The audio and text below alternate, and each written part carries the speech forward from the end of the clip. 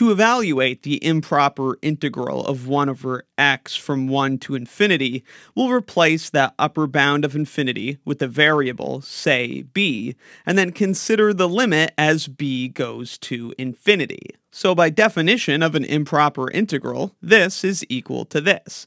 Now we have a perfectly normal integral, and we can evaluate it and then take the limit.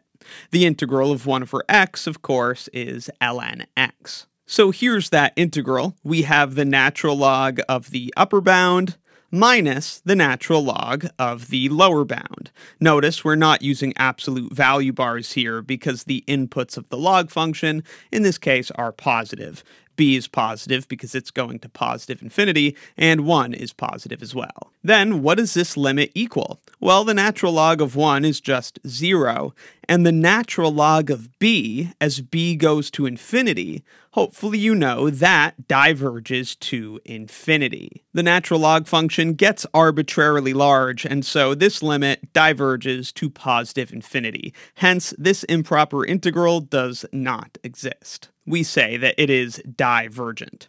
Let me know in the comments if you have any questions, and be sure to check out my Calculus 2 course and Calculus 2 exercises playlists in the description for more. Thanks for watching.